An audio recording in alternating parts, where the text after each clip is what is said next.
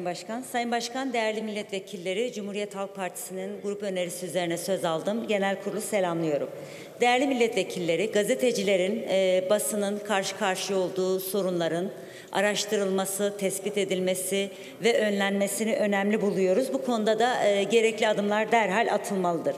Çünkü gazeteciler iktidarın, rütüğün, polisin, yargının ve medya patronlarının artarak devam eden baskılarının altındadır. Gazeteciler gazetecilik faaliyetleri nedeniyle sürekli hedef gösteriliyor, şiddete uğruyor, hukuksuzca yargılanıyor. Bu saldırılara en çok maruz kalanlar ise şüphesiz özgür basın çalışanlarıdır. 8 Haziran'da Diyarbakır'da gazetecilere yönelik operasyonda 7'si kadın, 22 gazeteci gözaltına alınmıştı. Ve 8 gün süren hukuksuzca bir gözaltı sürecinden sonra DFG eş başkanı Serdar Altan, Jinnis müdürü Safiye Alagaş, Mezopotamya Ajansı editörü Aziz Oruç, Habun gazetesi yazı işleri müdürü Mehmet Ali Ertaş'ın da aralarında bulunduğu 16 gazeteci tutuklandı.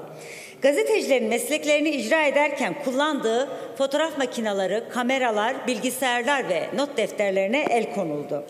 Ve gazeteciliğin olmazsa olmazı olan bu malzemeler emniyet tarafından örgütsel materyal olarak basına açıklandı. Çünkü emniyetin elinde suç delili olarak gösterebileceği hiçbir malzeme kalmamıştı. Aslında bu fotoğraf iktidarın, polisin, yargının gerçek habercilik karşısında ne kadar aciz duruma düştüğünün en açık göstergesidir. Değerli milletvekilleri, Van'da iki yurttaşın helikopterden atıldığını haber yapan gazeteciler aylarca hukuksuz bir şekilde cezaevinde tutuldu ve yargılandı. Yine 2017 Diyarbakır Nevroz'unda kameraların önünde Kemal Kurkut polis tarafından katledildi ve bu polise beraat verilirken bu öldürülme anını aslında tüm kamuoyuna duyuran gazeteci Abdurrahman Gök 20 yılla yargılanıyor.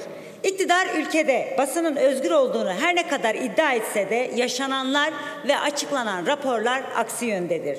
Sınır tanımayan gazeteciler 2022 Dünya Basın Özgürlüğü Endeksinde Türkiye 180 ülke arasında 149. sıradadır. Dicle Fırat Gazeteciler Derneği'nin verilerine göre şu an 76 gazeteci cezaevinde tutuklu bulunuyor.